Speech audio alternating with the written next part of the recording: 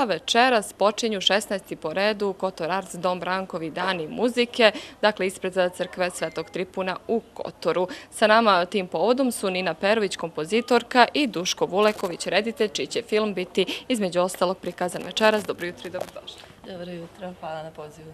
Dakle, Nina, prvo od vas da čujemo, dakle, počinje večeras festival i to umjetničkom manifestacijom pod nazivom Korijen. I šta će u ovom kompozitorskom dijelu biti izvedeno večeras?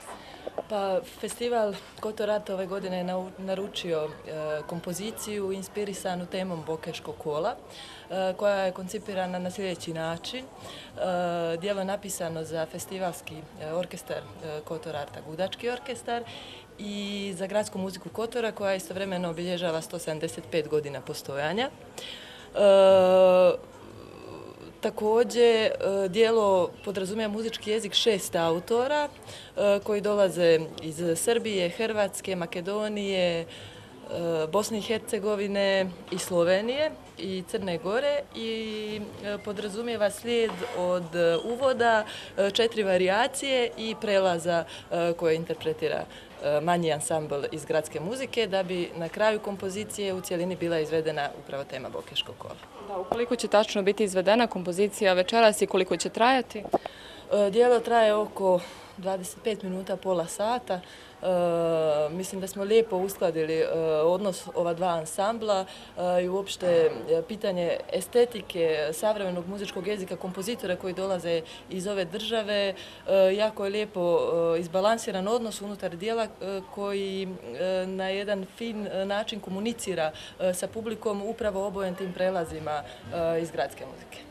Dakle, večeras će biti i e, prikazano e, premijera e, filma o tradiciji umjetnosti na prostoru Kotora i Boke. Gospodine Vulekoviću, kažite nam šta će to konkretno biti prikazano i šta ste sve obuhvatili u okviru ovog filma? Pa, film je dokumentarni, to je dokumentarni film koji, da, kao što ste rekli, bavi se time, ali i nekim drugim temama. Film se zove Odbrojavanje i traje 16, odbrojava 16 minuta. Ovaj, pa u filmu se bavimo prošlošću, u korijenima pratimo neke tokove prema prošlosti, osvjetljavamo neke mračne, te pomalo nekad i zaboravljene stvari, a istovremeno propitujemo neki današnji trenutak i neke vrlo ozbiljne teme koje, na koje se mora apsolutno obratiti pažnja u, eto, u jednoj dokumentarnoj formi to je otprilike to. Rekli smo da će premijerno biti izveden večeras ovaj film. Da li će se prikazivati još negdje nakon Dom Brankovih dana muzike? E, film je poručbina, isto kao i ova kompozicija o kojoj ste prije govorili, e, Kotorarta kao festivala. I to je u njihovim dalje rukama. Svakako ne sumnjam da će biti dostupan, ali to ćete tek vidjeti. Da, vi ste radili film o muzičkoj školi Kotorskoj, Vida Matijan.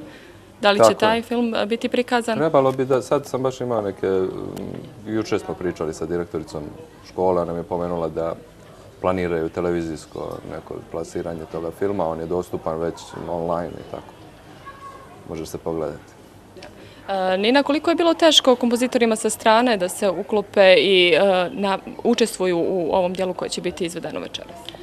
Pa oni su bili ograničeni u pogledu odabira same e, teme. Međutim, kao što je to običaj danas, e, svako ima potpunu slobodu u odnosu na to na koji način će tumačiti i na koji način će se njom baviti.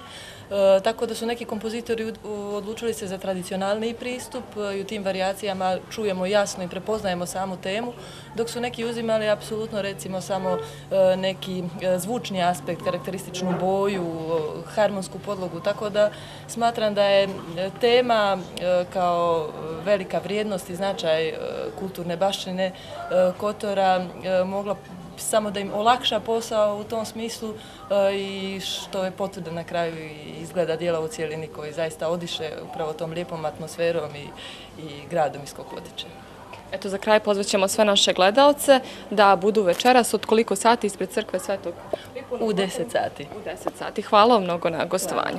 Dakle, 16. Kotor Art Dom Rankovi dani muzike počet će večeras, a u okviru glavnog programa nastupit će preko stotinu umjetnika iz 14 zemalja.